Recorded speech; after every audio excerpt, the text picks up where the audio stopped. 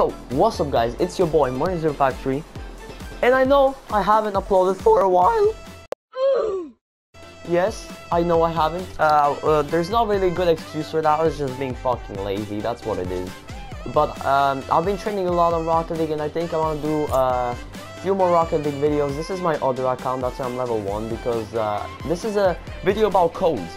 And most of you probably think, Oh, Martin, we already know the fucking two codes, the fucking popcorn and WrestleMania, right?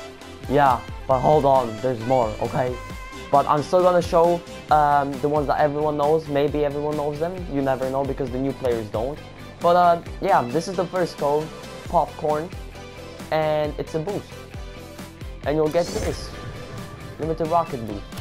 I'm gonna show it to you real fast. I don't want this video to be like 100 minutes long, man, but this is how it looks like. Alright, another one.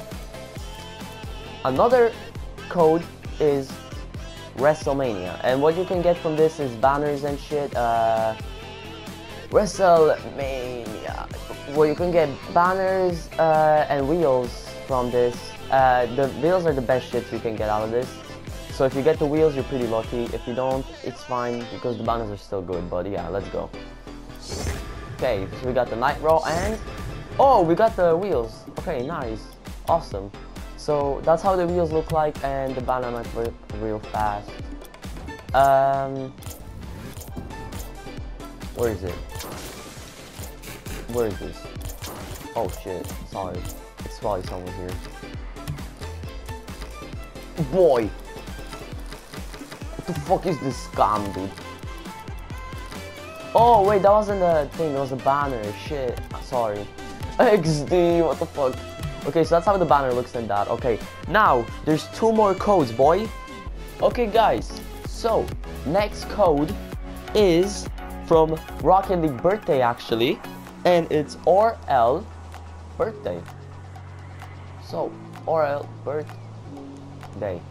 Now, you redeem this, and I believe that's also WWE items, so if you get another, if you get like another wheels from this, you're, you're making a, a lot here, to be honest. So let's see.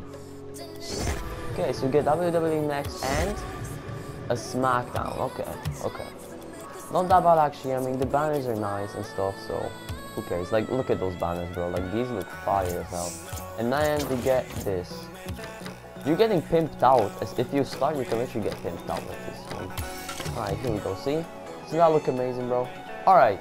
Then, there's the last code. There's only four. Yes, I know. There's only four. But then, the last one is WWE Dads. This ain't no prank. It's actually dads, bro.